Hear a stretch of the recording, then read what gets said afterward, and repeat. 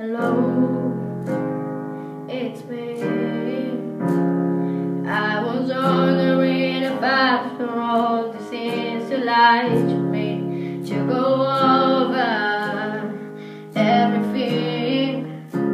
They said that I'm supposed to heal, yeah, but I don't mind.